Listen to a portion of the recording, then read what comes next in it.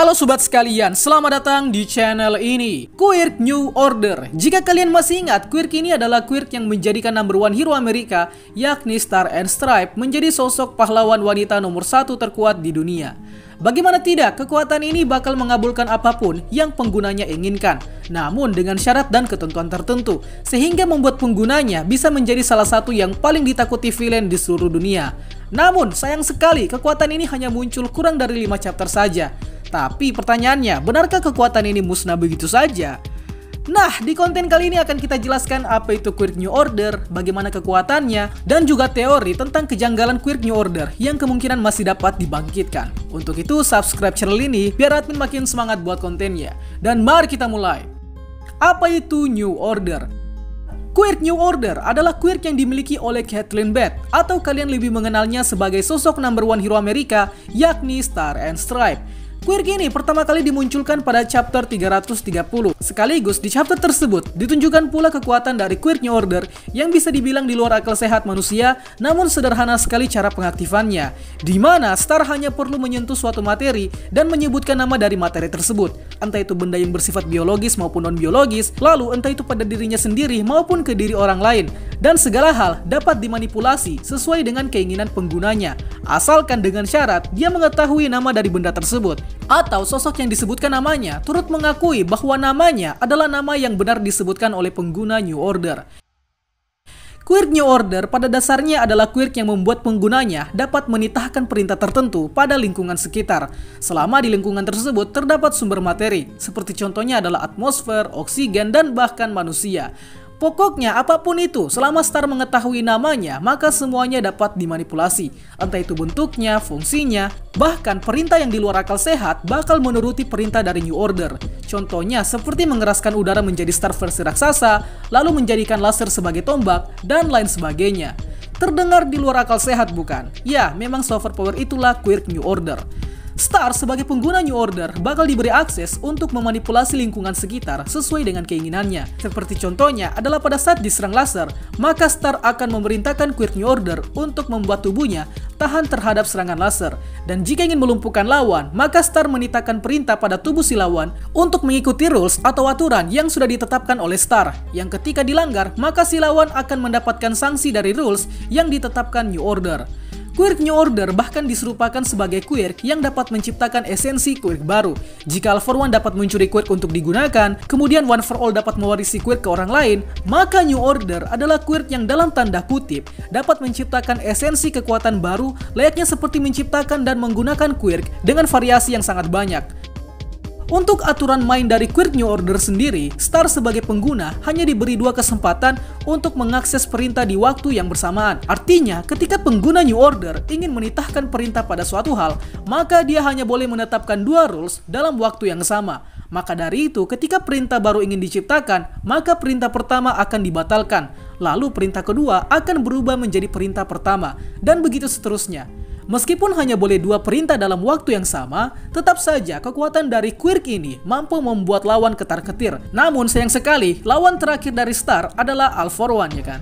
Untuk lebih detailnya, informasi dari Quirk New Order ini rupanya disembunyikan oleh pertahanan militer Amerika sebab Quirk ini dianggap sebagai spesimen paling di luar akal sehat dan tidak mengikuti peraturan dari Quirk kebanyakan sehingga Star selaku penggunanya turut merahasiakan kekuatan maksimum dari Quirk New Order sendiri sebab karena itu tadi Quirk New Order adalah aset negara Amerika Nah, karena kekuatan ini begitu tidak masuk akal, maka Quirk ini menjadi incaran for One yang akan digunakan untuk menguasai seluruh dunia. Dan Quirk ini juga, jika saja bertahan di tubuh for One, maka bakal memudahkan for One untuk mencuri Quirk One for All yang sudah lama dia incar.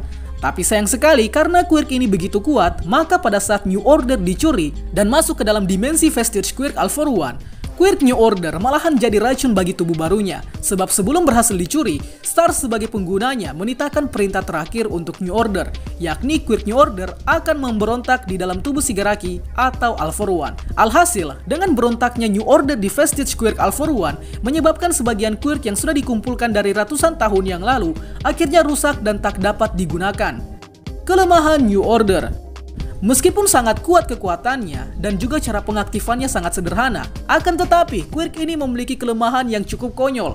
Sebab syarat dari New Order adalah penggunanya harus mengetahui dengan pasti nama dari materi atau lawan yang akan diberikan perintahnya. Contohnya, pada saat pertarungan melawan Shigaraki Tomura, pada saat itu yang diketahui oleh dunia dan Star sendiri mengenai nama asli dari villain yang dikenal sebagai Alpha One yang baru adalah Shigaraki Tomura.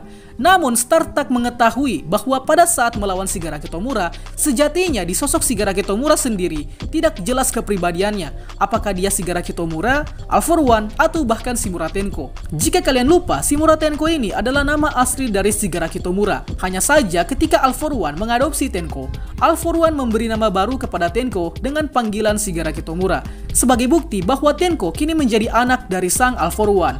Nah, yang menjadi masalah besar dari Star pada saat itu adalah dia tak mengetahui nama asli dari Shigaraki Tomura dan pada dasarnya saat ini tak ada yang mengetahui nama asli Shigaraki Tomura kecuali Al One sendiri. So, maka dari itu, hanya karena salah menyebut nama, akhirnya mengakibatkan Star ditaklukkan oleh Shigaraki. Yang jadinya, kelemahan utama dari Quirk New Order adalah karena kesalahan penyebutan nama. Saya jadi kebayang kalau misalnya nama dari lawannya ternyata memiliki nama yang panjangnya bukan main. Masa iya harus periksa kartu keluarga dari si lawan dulu? Kan konyol gitu. Tapi kalau misalnya StarTag mengetahui namanya, maka dia akan menitahkan rules ke materi lain yang akan memusatkan kepada target yang tak diketahui namanya, yang tujuannya tentu saja untuk melumpuhkan lawan. Akan tetapi, sekali lagi, kelemahan dari New Order adalah Star sebagai pengguna tak dapat secara gamblang menitahkan perintah yang melebihi kapasitas dari kekuatan yang maha kuasa. Artinya, meskipun Quirk New Order tak masuk akal kekuatannya, tapi New Order tidak semaha kuasa kelihatannya.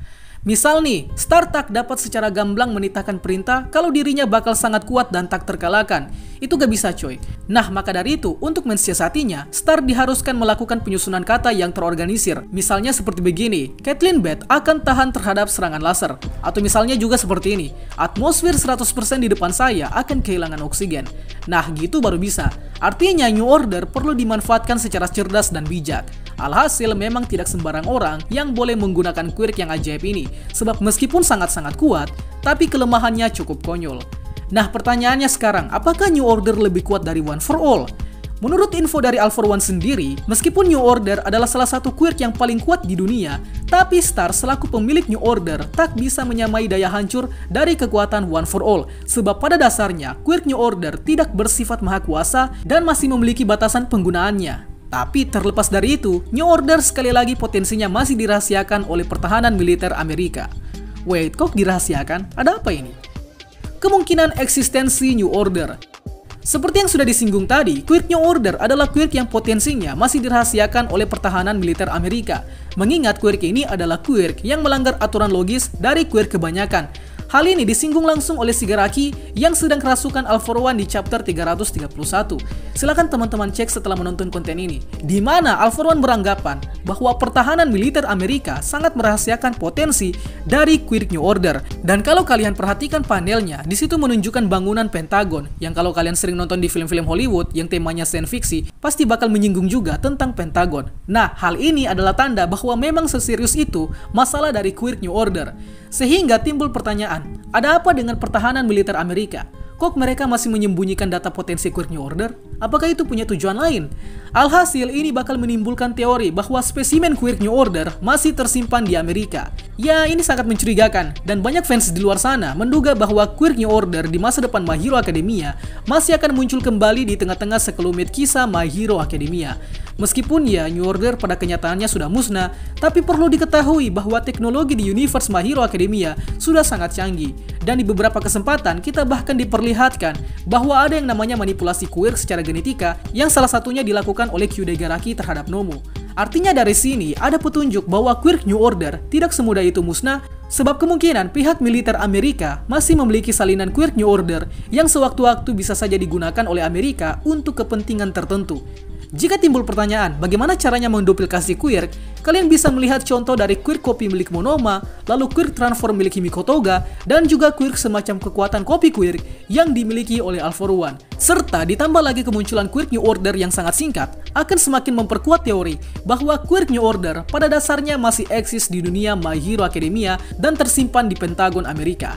Alhasil, bisa saja Quirk New Order akan digunakan kembali untuk tujuan dan kepentingan tertentu di kisah My Hero Academia di masa depan nanti. Entah siapa yang akan menjadi pewaris New Order selanjutnya, itu belum diketahui secara pasti. Tapi dugaan kalau Quirk New Order masih eksis, dugaannya sangat kuat sekali. So, menurut kalian bagaimana? Apakah New Order ini bakal muncul kembali nantinya? Silahkan tuangkan pendapat teman-teman di kolom komentar. Tapi sekali lagi, teori di segmen terakhir tadi masih tetap sebatas teori. Bisa saja benar dan bisa saja salah. Itulah pembahasan kita pada kali ini, sangka apa yang kurang. Request juga di kolom komentar untuk pembahasan selanjutnya. Dan akhir kata, see you next time.